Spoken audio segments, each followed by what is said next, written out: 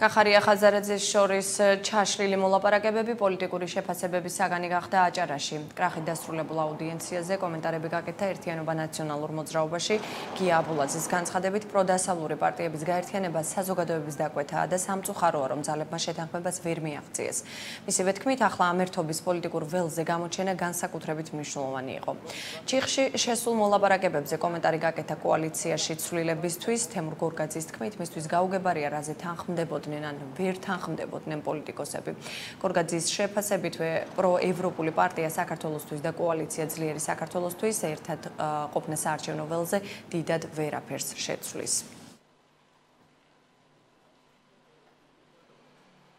არა მგონია რომ მესამე ცენტრის ვერ შექმნით პროევროპელი ამომრჩეველი რამეს კარგავს.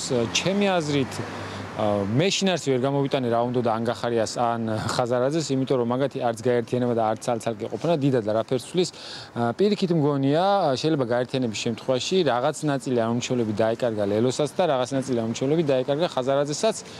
მართლა ვერ გავიგე ვერც ეხლა და ვერც მაშინ რატო გამოიწეს ეს რაღაცა პიარი და შემდეგ რატო დაასრულეს კრახით. არ ვიცი, შინაარსი ვერ გამოვიტანე, ვერც ლოგიკას ვერ ჩავწვდი რა უნდათ მაგ ხალხს. პირველ რიგში უნდა აღინიშნოს, რომ მოსახლეობის განწყობა და დაკვეთა არის პროდასავლური პოლიტიკური პარტიების მიმართ, რომ გაერთიანდნენ მიხეილ სააკაშვილის პირველი ინიციატივა იყო, რომ თლიანად შექმნილიყო პროდასავლური ფრონტი ცალკე და ასე დაუპირისპირებოდით პრორუსულ ხელისუფლებას, სამწუხაროდ ეს დიდი გაერთიანება ვერ შედგა, ასევე იყო ლელოს და გახარიას გაერთიანების პერსპექტივები, რაც სამწუხაროდ ვერ შედგა და ჩვენი ამომრჩევლების განწყობა იყო, რომ ეს გაერთიანება შემდგარიყო.